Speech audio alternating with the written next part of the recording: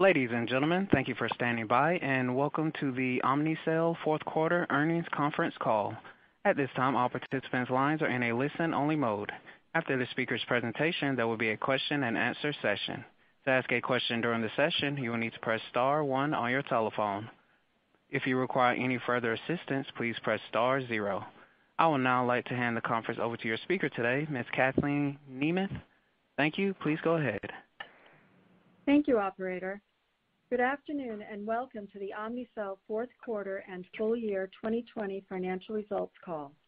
On the call with me today are Randall Lipps, Omnicell Founder, Chairman, President, and CEO, Scott Seidelmann, Executive Vice President and Chief Commercial Officer, and Peter Kuipers, Executive Vice President and Chief Financial Officer.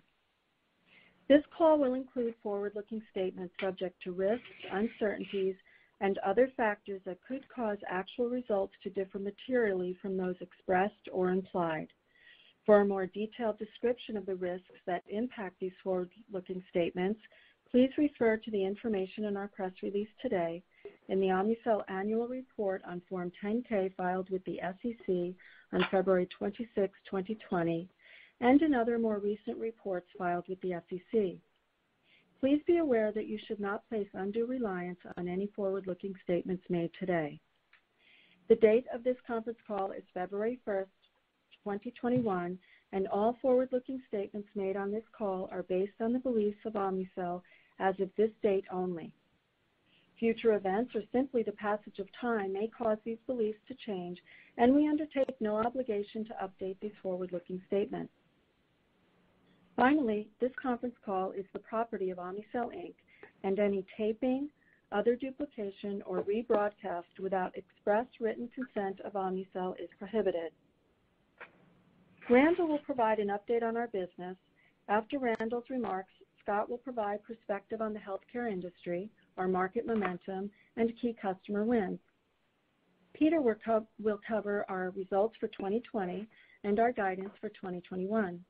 Our 2020 fourth quarter and full year financial results are included in our earnings announcement, which was released earlier today and is posted in the investor relations section of our website at omnicell.com.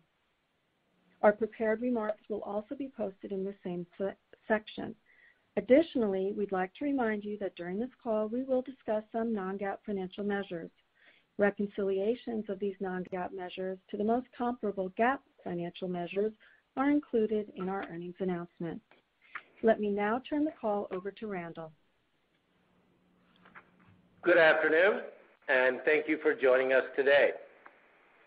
2020 was an outstanding year for Omnicell as we continued to drive growth in our business, execute well on our strategies, and deliver tremendous value to our health system partners, their patients, and our shareholders. I am so proud of all of our employees who consistently put our health systems partners first during this unprecedented year. Our fiscal 2020 results are at the high end of or above the prelim results we announced in mid-January. We are very pleased with our performance, which exceeded our pre-pandemic bookings guidance and the guidance we provided in October 2020 across all key metrics, including revenues, total product bookings, and non-GAAP EPS. I'm especially pleased to note that we ended the year with record product bookings of more than $1 billion.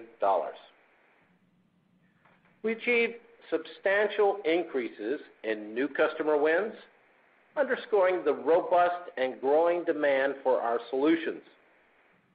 At year-end, well over half of the top 300 health systems in the U.S. were Omnicell customers, and we had long-term sole source contracts with 145 of them, including two new customers added in the fourth quarter. Despite the ongoing pandemic and the disruption it caused across the healthcare industry in the first half of the year, We also made strong progress advancing our long-term strategic priorities. Notably, we expanded our Autonomous Pharmacy portfolio with the strategic and accretive acquisition of PSG's 340B Link business, now called Omnicell 340B. We also accelerated our shift to cloud-based solutions and tech-enabled services through the launches of Omnicell One and Central Pharmacy Dispensing Services. Omnicell One is a cloud-based platform that connects nearly all of our devices and is a compelling differentiator for Omnicell.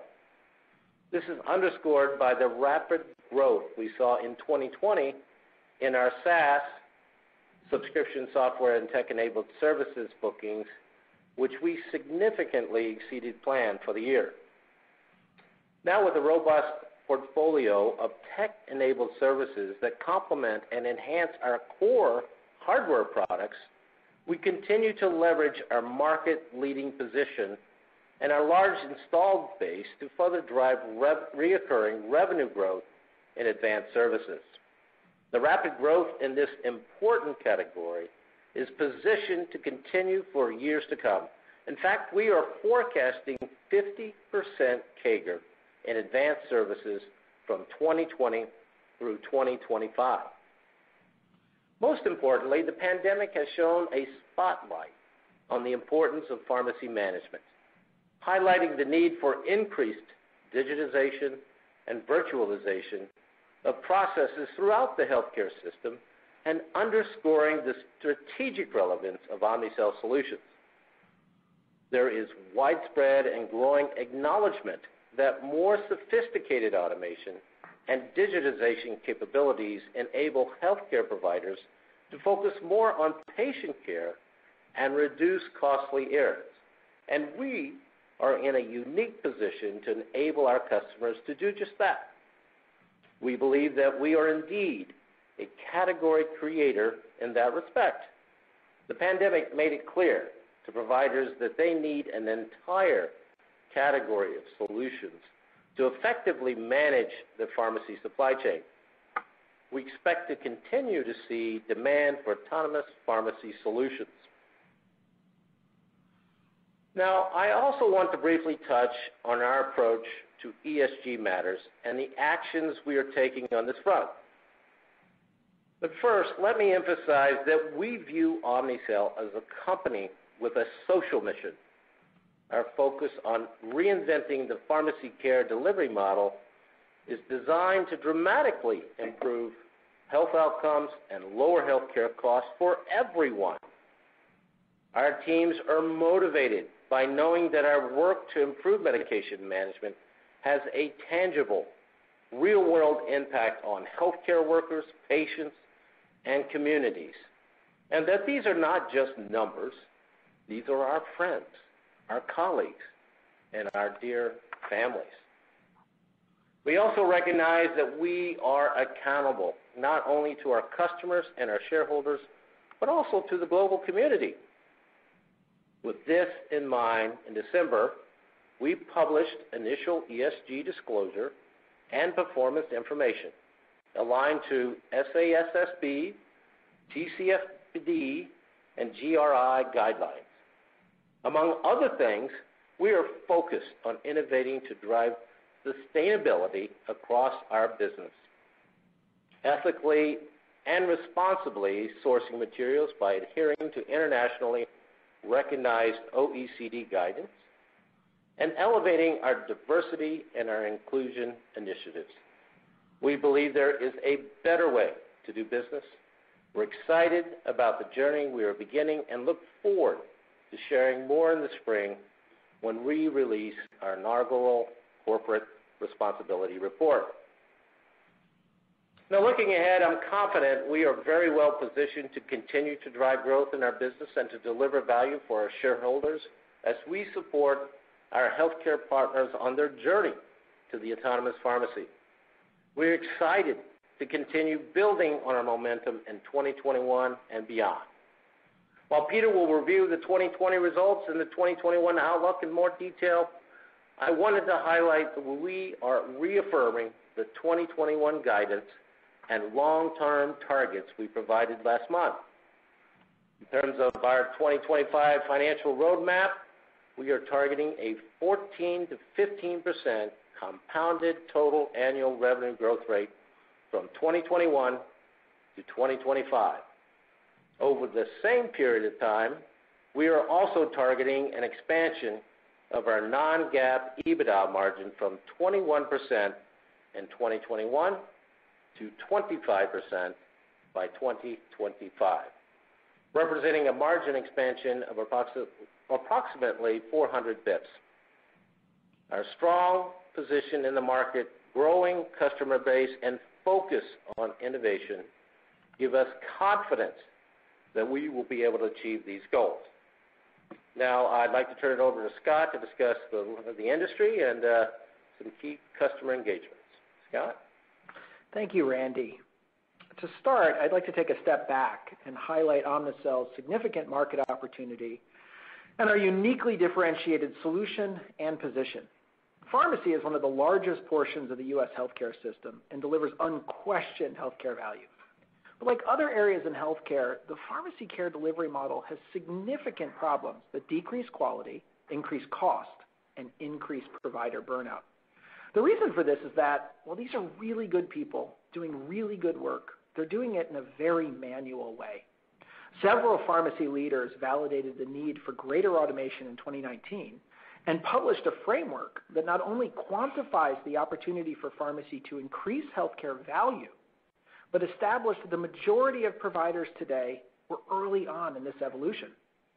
Because of this significant need, we launched a new category of solutions called the Autonomous Pharmacy that will automate many of the workflows that prevent pharmacists, nurses, and other caregivers to focus on solving the really big clinical problems. The Autonomous Pharmacy is a new category that combines hardware, software, and services to enable providers to improve quality, reduce cost, and increase human efficiency. The Autonomous Pharmacy builds on our market-leading position in automated dispensing systems with the delivery of a portfolio of true technology-enabled services that not only create real healthcare value for our customers, but also significantly increases our market size and adds material recurring revenue streams. Today, we have over 25 years of experience helping providers solve medication management problems. And as such, we believe we have an unparalleled channel, not only into our core growth market, health systems and hospitals, but also the post-acute and retail portions of the market. Because of our comprehensive product portfolio, our brand, and our unquestioned channel leadership, we are extremely well-differentiated and well-positioned to realize the full potential of the Autonomous Pharmacy. Now, turning to key customer engagements this quarter. We are very proud of the substantial increases in new customer wins and bookings achieved during the fourth quarter and throughout 2020. As we noted in our preliminary results announcement, we signed two new long-term sole source agreements with top 300 U.S. health systems during the quarter, bringing the total to 145. Solution Health has signed a 10-year sole source agreement to expand Omnicell's footprint across its Southern New Hampshire network. Interoperability and enhanced visibility across the supply chain were key to Solution Health's decision. Another newly signed long-term sole source customer is a large West Virginia-based academic medical center that has strengthened its partnership with Omnicell to optimize safety and improve workflow efficiency through a new five-year agreement that will extend Omnicell solutions throughout its four-hospital system. A large Midwestern health system and current Omnicell customer has selected Omnicell's point-of-care solutions to support safety and efficiency across their nine hospital locations and multiple cancer centers throughout Indiana. This was a significant competitive conversion. Other customer wins during the quarter include a major Georgia-based academic healthcare system and longtime Omnicell partner that has signed a 10-year sole source extension to leverage Omnicell's integrated platform of solutions to enhance pharmacy supply chain management across their integrated health network. Now, a few comments on our progress internationally. First, we announced during the quarter that the Southeast London Integrated Care System will expand the deployment of Omnicell automation systems across six acute hospital sites. This also includes collaboration for Omnicell and the Trust to launch a European-based technology-enabled intelligence center to deliver advanced analytics, managed supplies, and medications. This is very exciting, and we believe will strengthen our market position in both the U.K. and across Europe. Internationally, we are also continuing to gain momentum in Asia with recent medication management automation customer agreements in Singapore and Japan. In addition to those customer wins, we are pleased with the continued momentum within our advanced services portfolio, which is a key component of our strategy. Let's walk through some of the highlights. Omnicell One. We have made good progress in the market and signed several agreements with numerous large health systems. Omnicell One is emerging as a significant competitive differentiator. Central Pharmacy Dispensing Services, also known as CPDS, combines our XR2 robot with experts and software to help health system central pharmacies reduce errors and reduce costs for oral drug distribution. We are very pleased with the positive customer feedback we are receiving on this recently launched solution and look forward to continuing to update you on our progress. EnlivenHealth is a service that combines software analytics and experts to help retail pharmacies provide value-added services to patients and also helps retail pharmacists and payers manage medication issues for complex patient populations. We are very proud of the important contribution EnlivenHealth is making to support the COVID-19 vaccine rollout. Enliven launched Care Scheduler, an exclusive digital solution that automates the scheduling, patient outreach, and reporting for administering the vaccine. We have already signed up numerous pharmacy customers for Care Scheduler and are conducting advanced conversations with other partners to purchase the new SaaS technology. To date, CareScheduler has been deployed by over 2,000 retail pharmacy and stand-up vaccine clinics.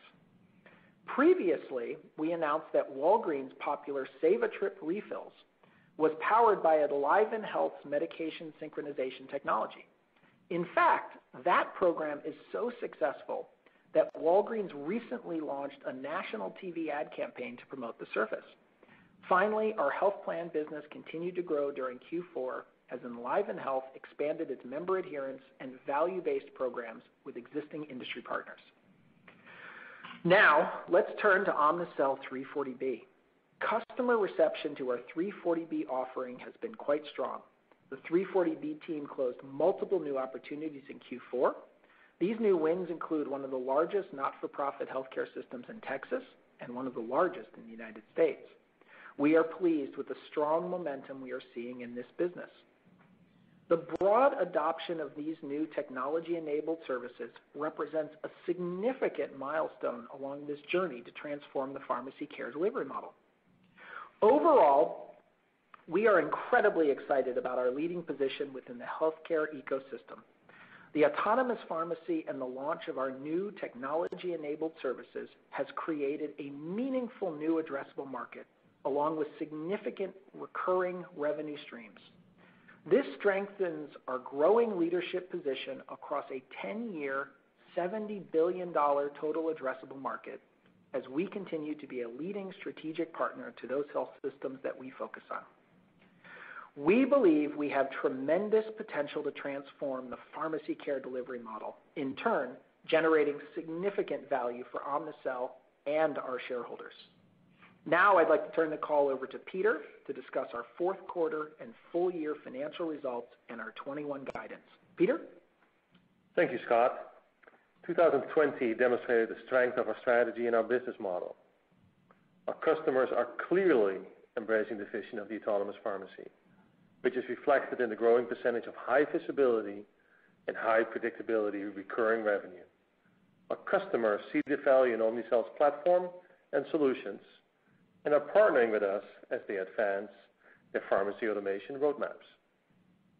Turning now to our financial results.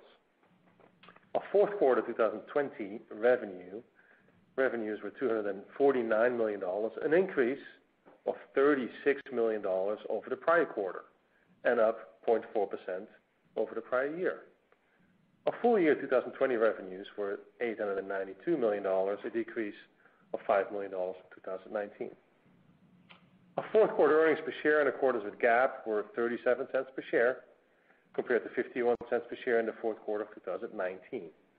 Our full year 2020 earnings per share in accordance with GAAP was $0.74 per share, down from $1.42 per share in 2019. A full reconciliation of our GAAP to non-GAAP results is included in our fourth quarter earnings press release and is posted on our website. Full year non-GAAP EBITDA was $159 million, a slight decrease of 4% compared to full year non-GAAP EBITDA of $167 million in 2019. Fourth quarter non-GAAP EBITDA was $52 million, an increase of 13% compared to $46 million in the fourth quarter of 2019. Fourth quarter non-GAAP earnings per share was $0.91 per share, compared to $0.77 per share in the same period last year, representing an 18% increase. Full year 2020 non-GAAP earnings per share was $2.54 per share, compared to $2.81 per share in 2019, representing a 10% decrease. Product bookings for full year 2020 were $1.002 billion, compared to $830 million for the full year of 2019. This represents an increase of 23% despite the impact of COVID-19. Total product backlog at the end of 2020 was $924 million, compared to $588 million at the end of 2019, representing a significant increase of 57% year-over-year. This was a record year for product bookings, which exceeded even our pre-COVID bookings guidance by over $100 million. Our guidance beat in product bookings was driven by the increased strategic importance of our medication management automation solutions, resulting in greater than expected product bookings from the 145 long-term sole source agreements and from increased momentum in advanced services. Of the $924 million in ending product backlog, $307 million, or 33%, is considered long-term. This percentage is up from 20% at the end of 2019.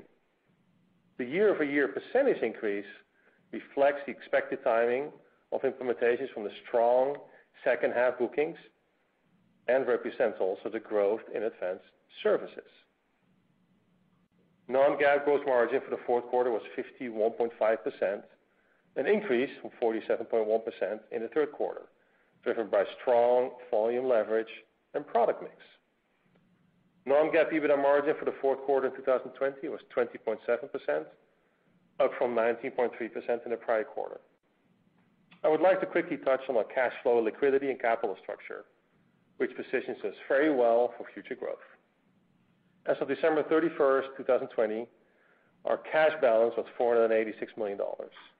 Cash flow from operations during the fourth quarter was $76 million and was $186 million for the year ended December 31, 2020, representing increases of $35 million and $145 million for the comparable periods in the prior year.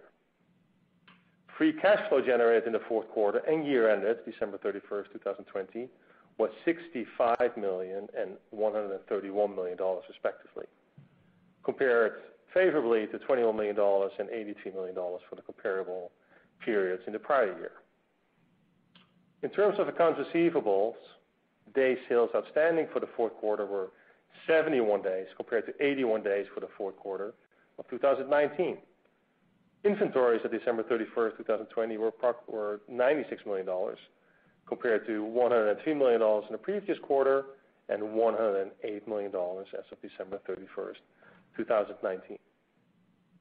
Before turning to guidance, I would like to walk through the long-term financial framework we presented previously in our preliminary results press release and at the J.P. Morgan Healthcare Conference on January 13th earlier this year. We included a slide deck in our fourth quarter earnings release summarizing our long-term financial framework. I will walk you through the highlights. Slide three highlights how our revenue base is resilient and highly visible in nature and is differentiated by first, a very robust product backlog. Second, our long-term sole source agreements with 145 of the top 300 U.S. health systems. Thirdly, customers clearly value our offerings as evidenced by a strong customer retention rate of 99%. Fourth, we have strong insight in annual service and maintenance revenue from our large installed base of connected devices, which is in the early stages of its upgrade cycles. And lastly, while nearly all of our revenue is highly visible, roughly 40% of our revenue base is recurring in nature, and we are focused on growing this percentage over time. Now moving to slide four.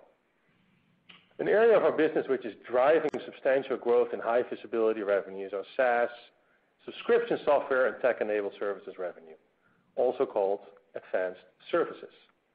The strong upside to our 2020 bookings was primarily driven by two factors. One, general momentum from our long-term sole source partnership agreements, and then two, advanced services significantly exceeding our internal plans. This revenue type is seeing great momentum in pipeline and bookings, and we expect a revenue CAGR of approximately 50%, five zero, from 2020 to 2025 for these advanced services. With advanced services revenues expected to reach 20%-30% of total Omnicell revenues by 2025. This is subscription-based recurring revenue with high margin unit economics. There are several key factors that enabled us to grow our advanced services revenue so rapidly. First of all, COVID clearly increased the urgency to digitize and automate processes throughout health systems, including the digitization and automation of the pharmacy to reduce manual touches of medications and to enable healthcare providers to focus more on patient care. Against the backdrop of the pandemic, our solutions are more strategically relevant than ever. The increased need from health systems for outcome-based solutions also is driving advanced services growth. And then lastly, our strong and unparalleled channel and install base of connected devices is also driving advanced services growth. Slide five underscores our commitment to drive profitable growth through disciplined execution. We are now targeting a 14%-15% compounded total annual growth rate from 2021 to 2025, reaching $1.9 billion-$2 billion in 2025 Of course, if you measure that CAGR starting from 2020, it will be materially higher. On an organic base basis, we're targeting an 11%-12% CAGR, revenue CAGR, from 2021 to 2025, reaching $1.65 billion-$1.75 billion in 2025. The main organic revenue growth drivers are grow and expand within the existing customer base, upgrade cycles, continued market share gains, and growth from innovation as we continue to deliver on the next levels of the Autonomous Pharmacy. From an inorganic perspective, we are targeting a 3% CAGR from 2021 to 2025. We have a team focused on this, and we are actively evaluating potential opportunities that will fit into our market-leading platform. We also believe that we can leverage a strong channel to drive value from potential acquisitions. And slide six details our path toward continued margin expansion. We are targeting a non-GAAP operating margin of 21% and a non-GAAP EBITDA margin of 25% by 2025. This represents a non-GAAP operating margin and a non-GAAP EBITDA margin expansion of approximately 400 basis points from 2021. We have built a company that is able to scale very well and believe we are well-positioned to deliver this margin expansion in the coming years, driven by a number of factors, including improved business mix, the long-term customer partnerships, economies of scale, manufacturing savings, and process efficiencies. As we continue to scale the business, we expect to redeploy some of these savings into value-creating growth and innovation initiatives. Now moving on to our full year 2021 guidance. As we look to the rest of the year, we expect to continue our strong momentum, particularly as the healthcare operating environment normalizes. Since the third quarter of 2020, we generally have seen and continue to see our healthcare partners manage their strategic system implementations well during a pandemic surge. To that end, we expect 2021 product bookings to be between $1.09 billion and $1.15 billion. We expect total revenues to be between $1.085 billion and $1.105 billion. We expect product revenue to range between $770 million and $785 million. We expect service revenue to be between $315 million and $320 million. We expect total year non-GAAP EBITDA to be between $228 million and $240 million. We expect 2021 non-GAAP earnings to be between $3.40 and $3.60 per share. For the first quarter of 2021, we are providing the following guidance. As we noted last quarter, we continue to invest in scaling our business to support the expected increase in revenue and the timing of customer implementations. We expect total revenues in the first quarter to be between $243 million and $248 million, with product revenues between $171 million and $174 million, and service revenues to be between $72 million and $74 million. We expect non-GAAP EBITDA for the first quarter to be between $40 million and $43 million, and we expect first quarter non-GAAP earnings uh, per share to be between $0.64 and $0.69 per share. This is above the typical first quarter seasonal pattern as a result of our very strong exiting year-end backlog. In summary, we are very pleased with our financial and operational results for the fourth quarter and for full year 2020. Combined with the fact that we're still in the early stages of our journey towards the Autonomous Pharmacy, we're confident that Omnicell has a very bright future ahead. With that, we would like to open the call for your questions. As a reminder. Operator? Yes. As a reminder, if you would like to ask a question, you will need to press star one on your telephone. That is star one on your telephone if you would like to ask a question. Your first question comes from the line of Iris Long with Berenberg Capital. Hello. Hi. Uh, thanks for taking my question. Um, so, firstly, so it's great to know that you guys have 145 sole source agreements with these top 300 health systems. I'm just curious if you can kind of talk about what details are included in these agreements, and then from these agreements, do you kind of have a sense of what product offerings these hospital systems are interested in purchasing? And also, I'm wondering like, what percentage of these customers have expressed an interest in buying things like a central pharmacy dispensing system, like an IV compounding system, or even like an Omnicell software platform that you guys have. Yeah, Iris. Uh, that's a great set of questions there. So the um almost uh, without exception, the new long-term sole source agreement, these partnerships of 10 and at times even 15 years, they're really led by advanced services. So these advanced services really bring the Autonomous Pharmacy to life, and in most of the cases, they are included. Uh, some of these are also market share gains. Um, The bookings from these long-term agreements make up a large percentage of our total company bookings. Uh, Iris, this is Scott Seidelmann. I would just add to that, I think that's all completely correct. I think you've got to remember that uh, a significant reason why these health systems are entering into these long-term sole source agreements with us is because of the complete portfolio. Their interest lies in Uh, one or multiple of OC, you know, Omnicell One, CPDS, IV, And, you know, As you can imagine from what we've disclosed about those service lines, the penetration is quite small. And so so I think it should give you a really great indication of where the opportunity is in terms of you know, our ability to upsell those customers. That's frankly why they're entering into the agreements. Okay. Uh, that's very helpful. And then a follow-up question. You guys talked about you're targeting 50% CAGR for the SaaS subscription revenue and the tech-enabled services. I'm just wondering, like um like Scott, you have mentioned there are so many moving pieces here. Can you kind of name a few products or service that you expect to have the highest growth in the near term, maybe like 12-18 months? And then I'm also wondering, is that 50% growth organic, or have you kind of baked in the assumption of acquisition?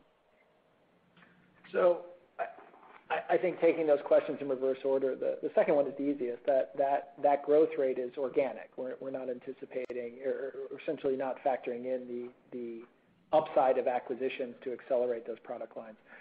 I think your first question, breaking it down, obviously, we don't disclose the individual growth rates. What I would say is is that um, we we feel that that growth, that each one of those products or services has that opportunity for pretty substantial growth. So I don't think, while we won't go into the details, what I would say is that um, there isn't one that is, in the near term or even in the medium term, significantly outperforming the others. It's not a weighted average calculation. It's simply that we believe this portfolio as a whole is growing like this. Okay. Uh, got it. That's helpful. Thanks for taking my question. Thank you. All right. Thanks, Iris. Your next question comes from the line of Scott Schoenhaus with Stephens. Hey, Scott. Uh, hi, Randall, Peter, and team. How are you guys? Doing good. Good. Good. Um, my first question revolves around your um, expanding EnlivenHealth and 340B Link uh, software platforms. On the EnlivenHealth side, I believe you mentioned you now have over 2,000 pharmacy stores signed up, which, if I look back at your press releases, is a nice increase from mid-January when you noted it was around 1,000. Can you talk about the ramp there, given what we're seeing with um, vaccine distribution? I believe the total market opportunity you guys have outlined in the past is currently around 60,000 stores in your network. Is that right?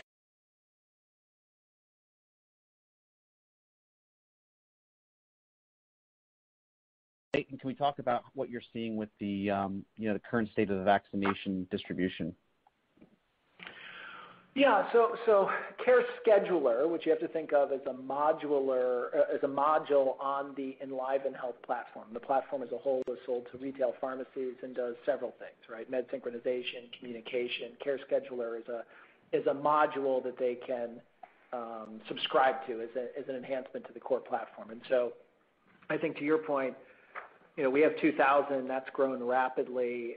But you've got to remember that the way that the vaccine rollout has progressed is that retail pharmacies are really sort of a late channel for the vaccine deployment. And so I think that what I would infer from that is that you know, we will continue to see a significant increase in those number of facilities as retail is as a channel is leaned on more and more to help vaccinate the population, right? As certainly we get out of the frontline healthcare workers and beyond the um, folks in nursing homes and LTACs to you and I, we're going to rely more heavily on those retail pharmacies, and we would expect continued growth there. Great. Um, thanks, Scott, on that. Um, on the 340B Link side, I think you mentioned in your prepared comments you're seeing success in signing up clients and penetrating this market, which is great. I think that speaks to your services, the strong services guidance that you provided. Um, can you just talk more about how where you are in the cross-selling um, capabilities uh, on top of your install base? I think you know, um the questions I get from investors is how quickly can they ramp up this cross-selling of this software business all onto their you know, pretty large install base. So can you talk about the opportunities in the 340B Link market specifically and your opportunities for the year? Thanks. Sure.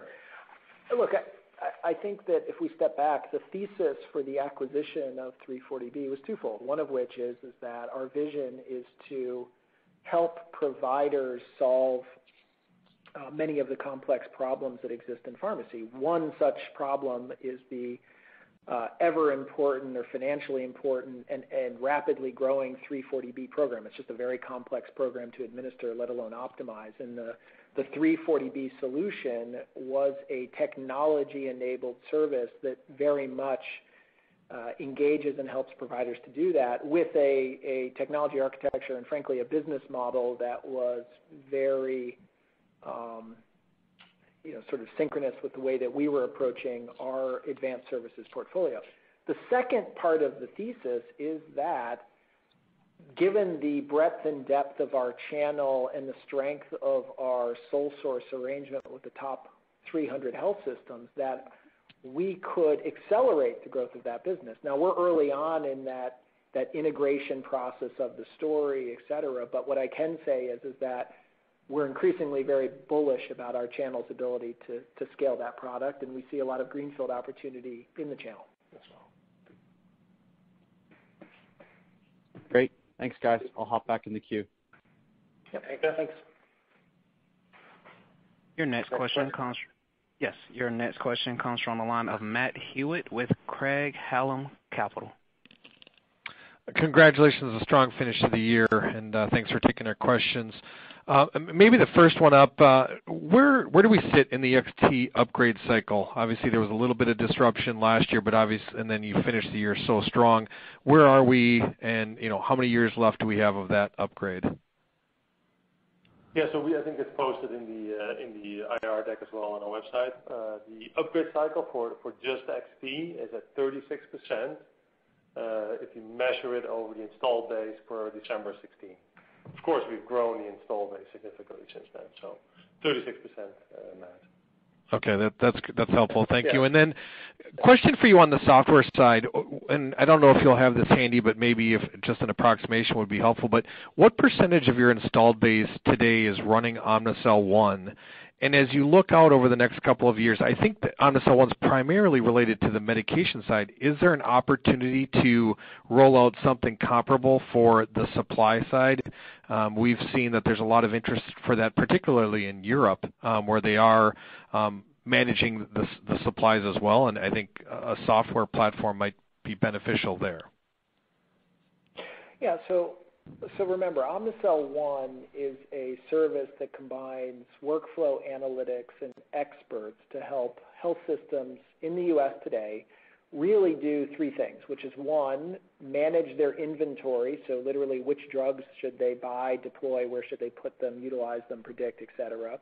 Two is to take their pharmacy labor, which is one of the largest expense categories for a hospital, and really optimize that. Where should their pharmacy techs go? When should they go there, et cetera. And so it just gives them a tool to really help manage that more efficiently. And Three is really start to avoid compliance risk, and so most notably, uh, diversion, so avoiding diversion events. And so so we are very early on in the penetration of this product in the market. What I will say is that uh, it has become a part of almost every, or the vast majority of even XT conversations with customers on the Omnicell One, not because you could imagine, it's kind of like Microsoft Office for running a pharmacy.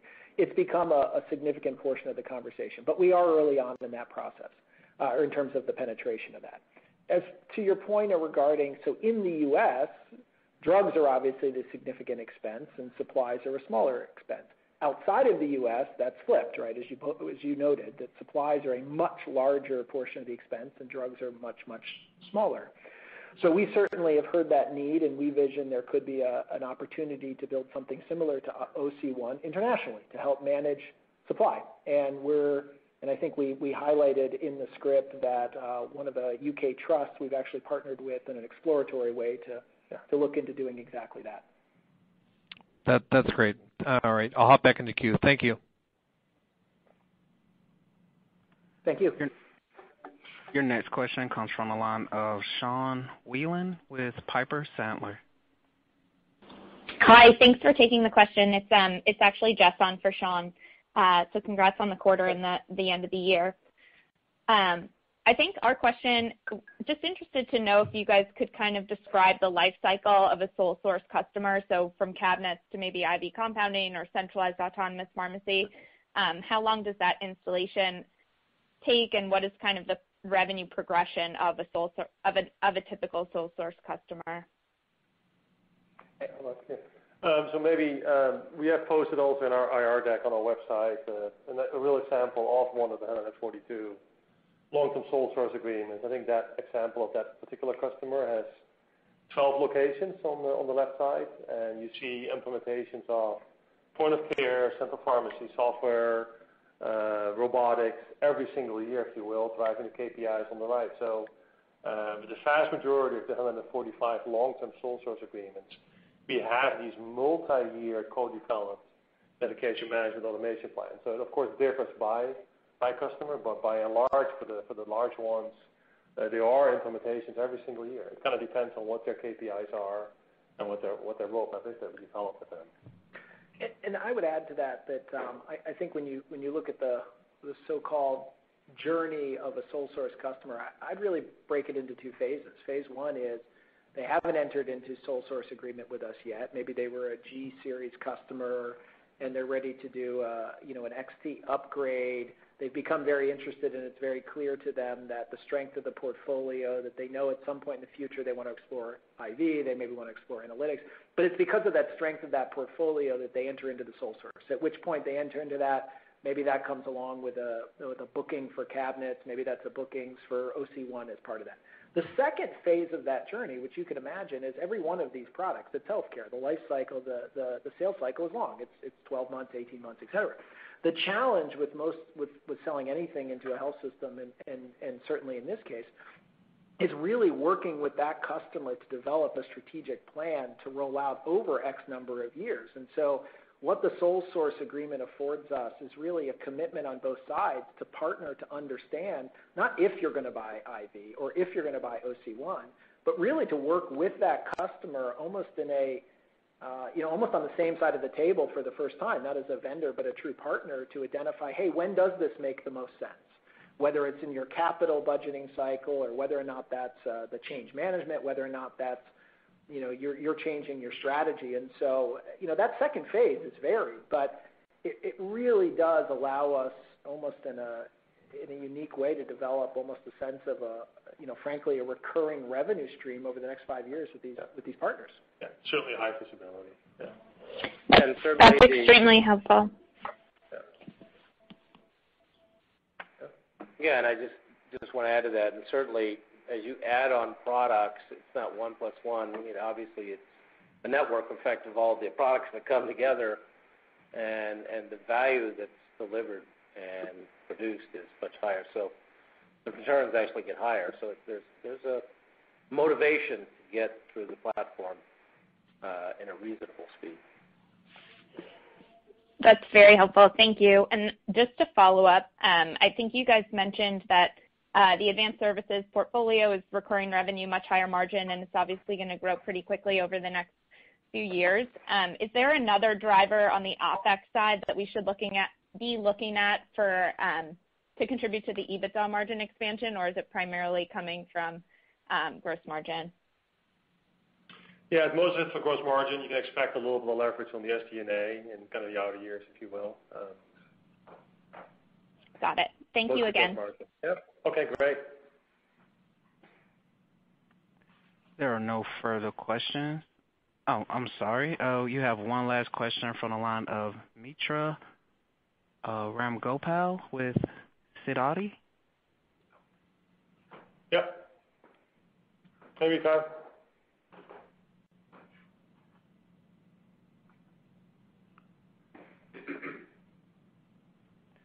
Mitra, your line may be muted.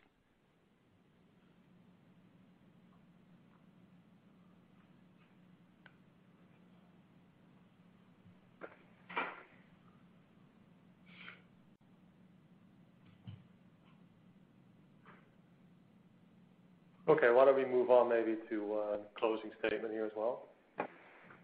Great. Well, this is Randy Lipps. Obviously, we're extremely pleased this year with the strong financial and operational performance in 2020. Um, albeit the year of the pandemic, the year uh, that uh, we understood what COVID-19 did mean to the healthcare system. And but most importantly, it really Uh, elevated the needs of pharmacy supply chain, uh, digitized solutions to help uh, solve very difficult problems. And it's really launched the company into this next phase of momentum. It's very exciting to go in and connect with customers, just not about some product replacement, but about a vision to get their pharmacy management up to places they never imagined they could get it before. And that's exciting for me and drives me every day, uh, including the first day I was driven by this 30 years ago. Uh, Sarah Lips was born and uh, started this company. So happy birthday, Sarah. We'll see you next time. Ladies and gentlemen, this concludes today's conference call. Thank you for participating. You may now disconnect.